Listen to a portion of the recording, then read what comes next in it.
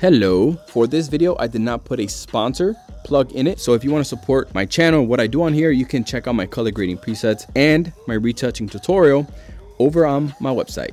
If you're someone that likes nice soft lighting in your portraits, just turn away, close your eyes, close the app because this is this is the complete opposite of that. This is a dramatic two light setup using only harsh lighting.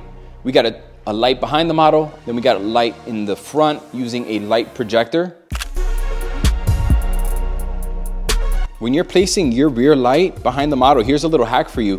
You wanna place it obviously pretty high up so it's not in the photo, but you want it to be in a position where it creates the shadow of the model directly in front of them. So if the shadow's just really long, that means that the light is too far back. You want it to be more like closer to the back of her head than the backdrop. What also helps if you did a squat pose or just laying on the background or sitting on the background pose, that's gonna help with you know being able to keep that shadow nice and compact and right in front of them.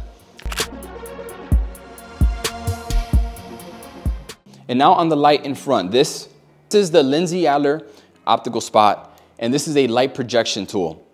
I don't care what lens, what camera you buy. It could be five, ten thousand, fifteen thousand dollars. It doesn't matter. This five hundred dollar investment, if you like lighting and you want to make your work stand out, this will do your work more justice than any other lens camera purchase. I promise you that. This, I'm able to really control the lighting. I'm able to make the lighting less sharp or more sharp. And then it has some like built-in light scrims that I'm able to really, really just shape out the light so I can create like a square, a rectangle, a triangle. Um, you also wanna place it to the side because there is gonna be some light spill on the background. You see that? So I placed it more at a, like a 45 degree angle to keep from any light spilling on the background. If I could change one thing about how I approached the setup last time, I wish I placed the front light a little higher because you know what happens when the lighting is like at eye level and forehead level? Is that it's coming straight on. You know what happens when you have like a, a direct beam? You're not getting like those nice flattering shadows that you would normally get, right? Lighting is more natural when it comes from above.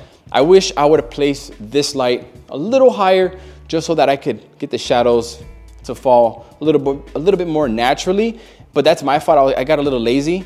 Um, my C-stand has like a little leg extension and I didn't want to grab another light stand, so I just used that. But overall, I do, I am happy with the outcome of the images. I think they look really good. If you want to try out this setup for yourself, but don't own, let's say, something like the optical spot, and you don't want to purchase it right now or never want to purchase it, you could also get away with possibly using a reflector or getting getting another one of those Westcott reflectors with a honeycomb grid so that you can get like a, a more of a controlled beam on her. But the aesthetic of this is that you want really harsh shadows everywhere. Because you don't is you don't want to mix you know the natural like really nice soft light with the the harsh light. It's just i feel like it's just this is meant to be like really like edgy. You know what i'm saying? I, I can't find the words. If you want to see more stuff like this like i feel like i have a, not a lot of knowledge that i can drop. The problem is i feel the pressure of um, creating some kind of masterpiece, you know, creating it, putting it, packaging it up in a way where it's like cinematic and lovely, you know, where I could just drop some knowledge quick. Like this video is not gonna take that long to edit because I'm just raw digging it, you know, you feel me?